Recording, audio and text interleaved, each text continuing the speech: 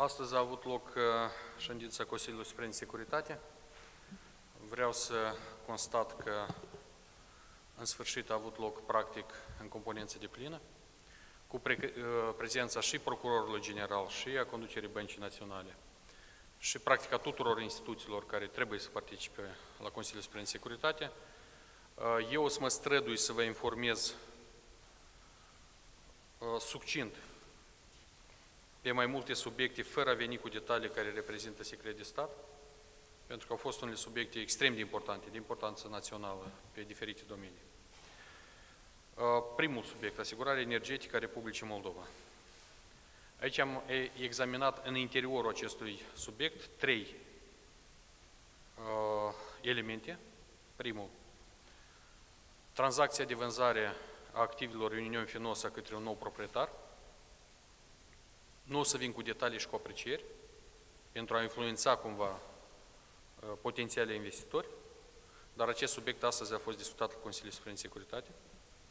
Al doilea subiect, ce este în sectorul energetic, uh, examinarea contractelor de livrare a energiei electrice pentru, din afara țării, inclusiv din Transnistria, pentru asigurarea cu energie electrică a consumatorilor din Republica Moldova, Aici a fost discutat în detalii și a fost solicitate informații suplimentare referitor la acordul, contractul, în baza căruia Republica Moldova primește energie electrică de la Cuciurga, din Transnistria.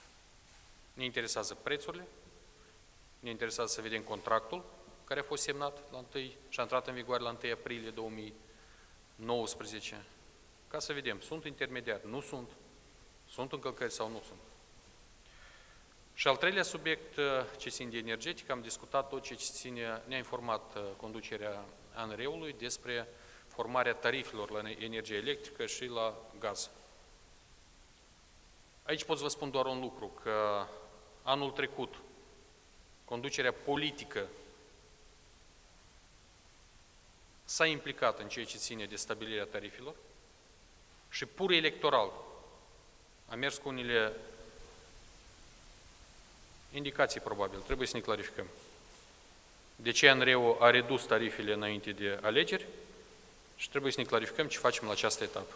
Mai multe detalii nu vă dau, pentru a nu fi speculații și nu a fi interpretări, dar uh, sunt mai multe subiecte, mai multe probleme care trebuie să ne clarificăm. Aceea, asta e ceea ce țin de sectorul energetic. Al doilea subiect, schemele de contrabandă. În ordine de zi au fost incluse uh, patru elemente sau categorii de mărfuri pe care uh, există suspiciuni și unele declarații publice, inclusiv referitor la contrabandă de proporții.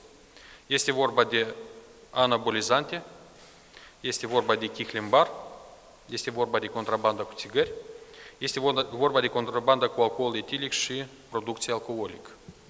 Au fost solicitat de urgență Procuratorii Generale, CNA-ului, SIS-ului și tuturor organelor competente să fie create grupe comune de investigații pe toate aceste cazuri.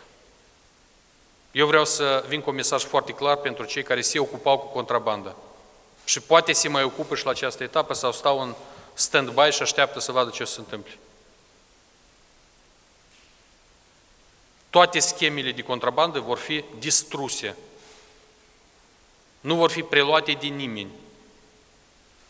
Scopul nostru este toți banii să vină la buget.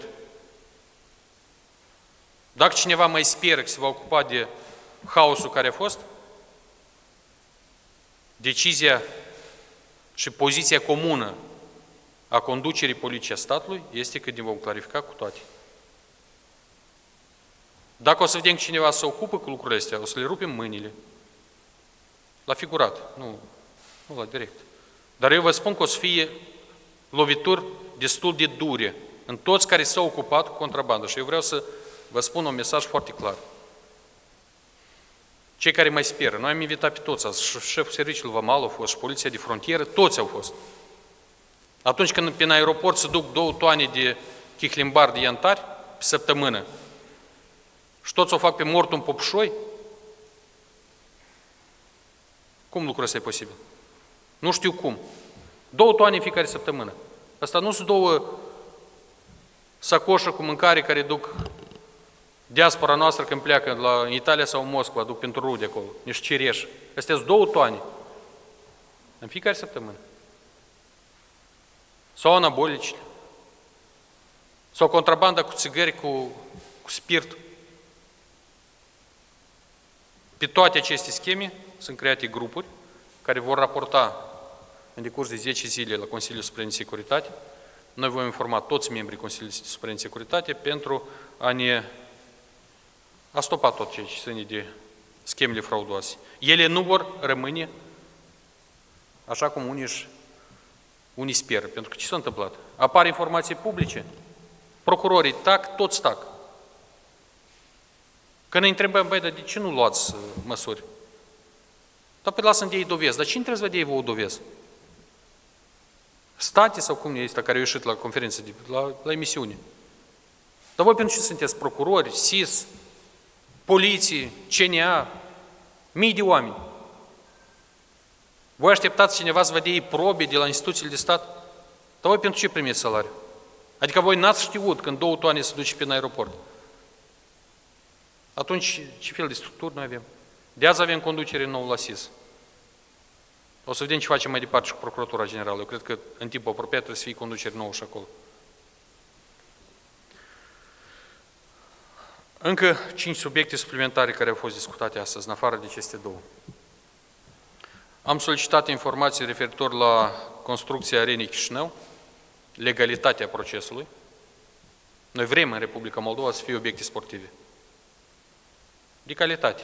Să putem fi gazdă la diferite competiții sportive internaționale. Dar haideți să ne clarificăm ce este acolo.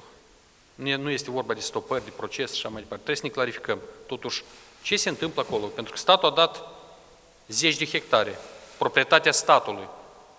Le-a dat în acest proiect de parteneriat public-privat. Alt subiect, detaliat vom examina tot ceea ce ține de programul de dobândire a cetățeniei Republicii Moldova prin investiții. În special trebuie să ne clarificăm cine se ocupă de pregătirea documentelor, pentru că acolo sunt careva companii de consultanțe care ridică sume enorme și trebuie să vedem ce facem cu această procedură mai departe. Cunoașteți că Parlamentul a aprobat în prima lectură că să ne refuzăm de această procedură. Trei, am solicitat la Ministerul Agriculturii detalii referitor la schemele posibile de la reexportul de mărfuri din Republica Moldova prin acordarea certificatelor de origine moldovenească pentru produsele care vin din alte țări. E clar despre ce vorba. Prin Moldova, reexport, mai departe. Sunt unele mesaje în acest sens, nu sunt atât de mari volume, dar, de exemplu, în anul curent s-au importat în Moldova 4.000 de tone de miere. Atunci când noi miere avem foarte multe. Am exportat în Rusia 160.000 de tone de miere. Eu vreau să mă clarific. Nu sunt niște băieți deștepți care erau la ANSA până acum și la Ministerul Agriculturii, care dădeau certificate de proveniență moldovenească pentru alte produse, pentru a pleca pe piața rusă sau pe alte piețe? Pentru că e subiect de importanță strategic. Dacă o să fie reexporturi de acestea, noi riscăm cu piețele care le-am deschis recent. Sunt unele subiecte legate de municipiul Chișinău, în special de privatizarea unor terenuri. Este un alt subiect care astăzi a fost discutat și a fost dat indicațiile de rigoare și uh, ultimul subiect, dar foarte important, activitatea întreprinderilor monopoliste din Republica Moldova. Noi avem informații că la mai multe întreprinderi de stat mari, Moldova Gaz, Mult Telecom, calea ferată și așa mai departe. În ultimele săptămâni se fac achiziții de sute de milioane de lei. Înțelegând că sunt încă directorii CEE puși în funcție, urgent transferă de pe conturi la întreprinderi de stat bani, în afara țării, preponderent pentru diferite servicii și bunuri. Ne mai vorbim de cazul celălalt de la Moldova Gaz, când și-au luat 25-30 de mașini, jeepuri. Și o informație o avem în detalii, am oferit-o doamnei prim-ministru. Am informații că unii directori urgent semnează cereri de plecare în concediu pe 3-4 luni, pentru că liderii PD-ului îi spun, duceți pe 3-4 luni, că pe urmă noi revenim, că să nu vă scoată. Concedii medicale și așa mai departe. Am solicitat de la colegii din guvern pe toate întreprinderile de stat, de dorit pe toate, dar în primul rând peste monopoliste, urgent trebuie luat la control. Ele toate sunt acum în subordine sau gestionate de Agenția Proprietății Publice, nu sunt la ministeriile sectoriale, aici este o problemă, ministerii sectoriale nici nu știu ce se întâmplă. Ministerul Economiei, care duce politica statului energetică, trebuie să ducă la Agenția Proprietății Publice să vadă ce se întâmplă la Moldova Gaz, sau la Energocom, sau la Mold Electrică. Mesaj către directorii din întreprinderi de stat. Lăsați schemele astea. Și nu sperați că mor să întoarce nu știu cine de psihotare și o să vă țină crâșa mai departe. S-a terminat. Eu vă spun destul de sincer. Nu sperați că, uite, amuș, nu știu ce, certe între dânsi și la guvernare, nicio, nicio șansă. Noi o să mergem toți împreună și toate schemele astea o să fie distruse. Pentru că cetățenii, oamenii așteaptă de la noi schimbarea situației. Și această schimbare va fi. Asta e ceea ce am vrut să vă spun referitor la Consiliul Suprem Securitate. Eu cred că cel mai probabil următoarea ședință a Consiliului Suprem Securitate deja va fi peste 10 zile, când vom obține toate informațiile detaliate. Dar suntem gata să reacționăm atunci când vine orice informație. Noi am convenit cu doamna prim-ministru, cu doamna speaker a Parlamentului, nu vor fi indicații de la președinte, speaker, premier, ministri, procurorilor ocupați de asta sau de asta. Noi nu trebuie să ne implicăm în actul de justiție.